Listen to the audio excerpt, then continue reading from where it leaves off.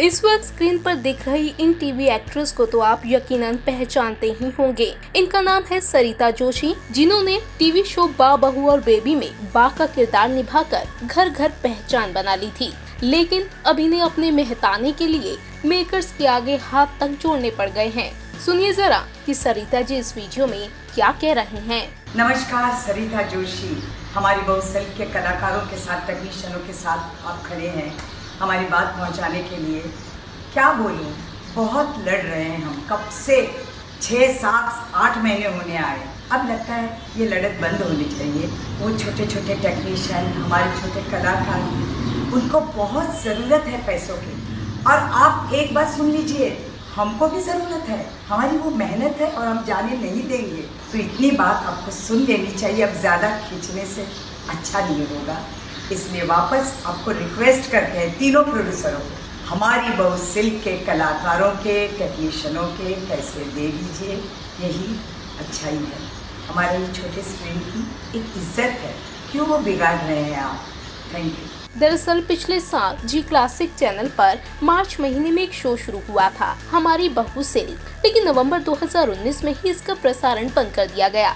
खबरें हैं कि शो के मेकर्स ने तकरीबन एक साल से शो से जुड़े कास्ट एंड क्रू को पेमेंट नहीं दी है। ऐसे में अब शो से जुड़े स्टार्स की बेसब्री का बाँध टूट पड़ा है और वो प्रोड्यूसर्स के खिलाफ विरोध कर रहे हैं।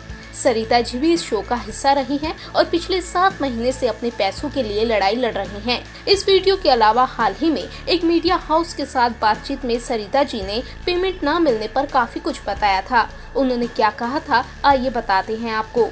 मैं एक वरिष्ठ नागरिक हूँ और अकेले रहती हूँ। मैं तब से काम कर रही हूँ जब मैं आठ साल की थी। लेकिन इसका मतलब ये नहीं कि मैं अपनी मेहनत की कमाई को ऐसे जाने दूँ। अब सात महीने से ऊपर हो गया है और सिंटा और प्रोड्यूसर्स के कहने के बाद भी कोई समाधान नहीं निकला है।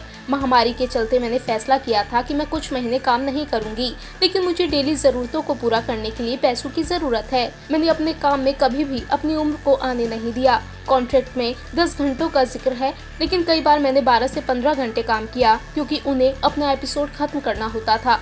इससे पहले मेरे साथ कभी ऐसा नहीं हुआ। मैं एसोसिएशन और चैनल से इस मामले में हस्तक्षेप करने की अपील करती हूँ। आपको बता दें कि सरिता जोशी को पिछले साल पद्मश्री अवार्ड से सम्मानित भी किया गया था। सरिता जी 2005 में आए स्टार प्लस के पॉपुलर शो बा और बेबी में बाकी किरदार से घर घर में फ़ेमस हुई थी। इस शो के अलावा वो एक महल सपनों का और खिचड़ी रिटर्न्स में भी दिखाई दी थी। आपको जानकर हैरानी होगी कि सरिता जी कई फ़िल्मों में भी नज़र आ चुकी हैं, जिनमें कन्यादान, गंगूबाई, सिंघम रिटर्न्स सिम्बा जैसी कई फ़िल्में शामिल हैं।